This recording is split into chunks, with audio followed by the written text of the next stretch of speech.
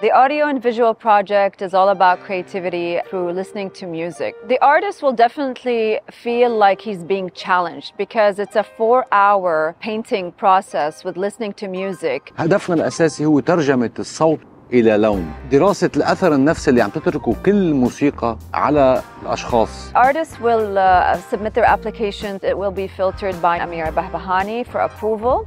And the artists that will uh, be approved, they will be able to be exhibited at the prestigious gallery at CAP. هيك أنا بدعي كل الرسامين المحترفين ينضموا لهذه التجربة لأنه رح نقدر نصور فيها عوالم موسيقية متعددة حضارات موسيقية متعددة لنقدر مع بعض نخلق مساحة من التعبير الحر I'm very excited and looking forward to meeting all talented artists for this amazing project.